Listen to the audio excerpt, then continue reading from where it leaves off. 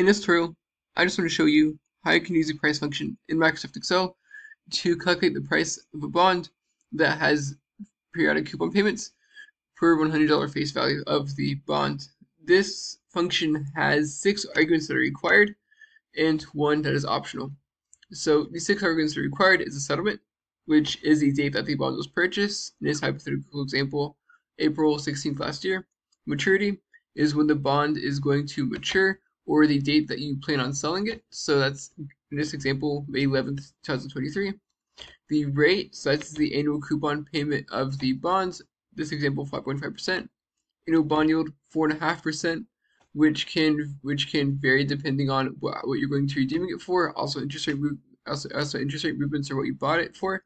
Um, redemption is how much are you going to be redeeming the bond for per $100 face value. So if you're going to be um, holding it to maturity, it's going to be 100, but you might be selling it for more than face value, less than face value.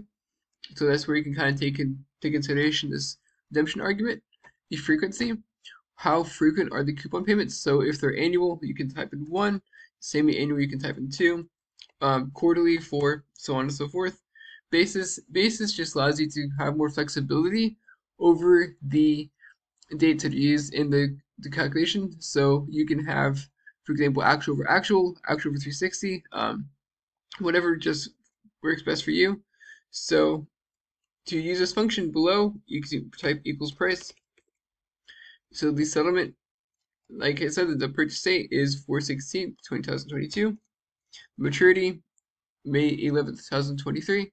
The rate is 5.5%, but the yield is 4.5% and the redemption is for face value will be 100 and the frequency um, you can type in 1 for annual, 2 for semi-annual, and 3 for, quart for quarterly. Then just type in 4 for quarterly.